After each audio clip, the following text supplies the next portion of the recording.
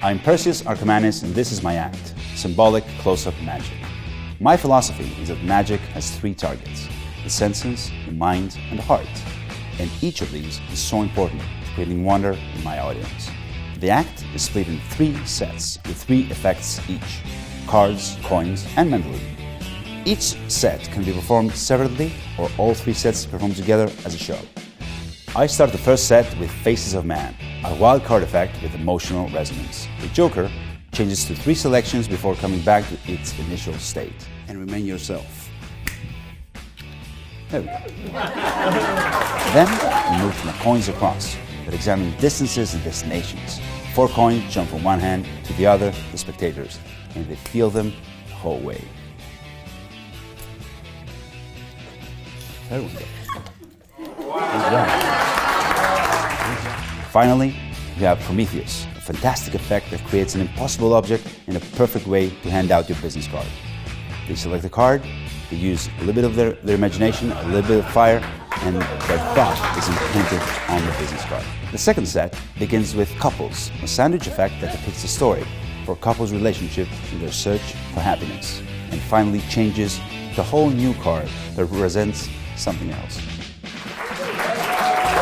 Next, a copper silver routine that keeps the emotional theme that workers will love because the coin actually changes underneath a wedding ring. A copper and a silver coin change places twice before doing it again in the spectator's hand. All you're left with now happiness and her love. Finally, close the second set with the Eye of Horus, my take on Dan Harlan's all-seeing eye effect, an incredibly powerful mind-reading piece. Indica? Yeah, it's my dog. The last set opens with Sherlock, an astonishing sandwich effect where the searchers gradually move through the deck to find the selection. Then we get to a routine I call Grandfather's Watch. This piece of mentalism is a confabulation routine that will grab your audience by the heart while you share something of yourself. They name any city in the world.